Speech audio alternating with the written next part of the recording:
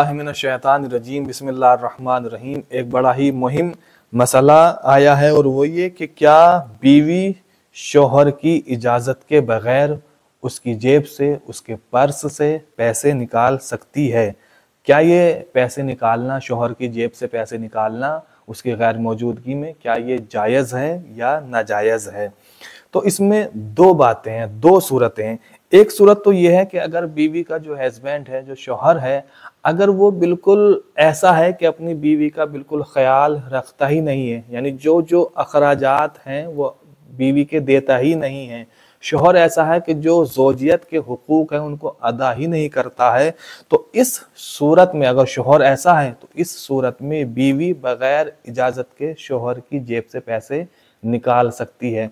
लेकिन इतना ही पैसा जेब से निकालेगी कि जितना शरअन उसका खर्चा है। खर्चे से ज़्यादा वो जेब से पैसे नहीं निकाल सकती।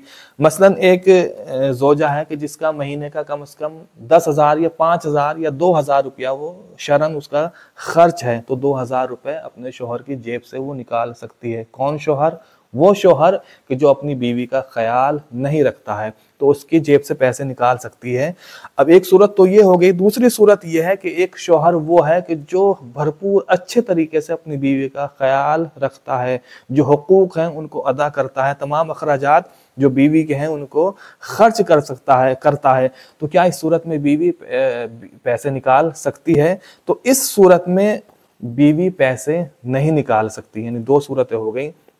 एक सूरत ये कि शोहर बीवी का ख्याल नहीं रखता है तो बीवी पैसे निकाल सकती है। दूसरी सूरत ये कि शोहर अच्छे से ख्याल रखता है तो फिर इस सूरत में जोजा का बगैर शोहर की इजाज़त के पैसे निकालना जायज़ नहीं है। लेकिन अगर शोहर की इजाज़त के बगैर पैसे निकाल रही है, कोई बीवी है जो पैसे निकालती है जेब से, पर्स से।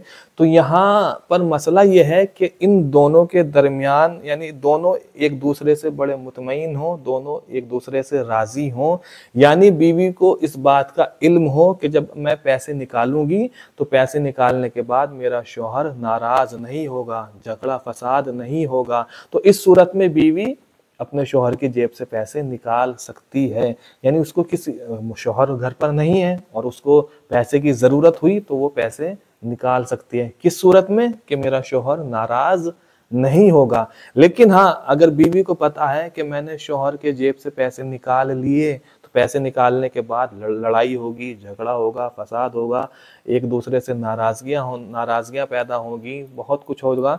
तो फिर इस सूरत में बीवी का अपने शोहर की जेब से बगैर इजाज़त के पैसे निकालना जायज़ नहीं है।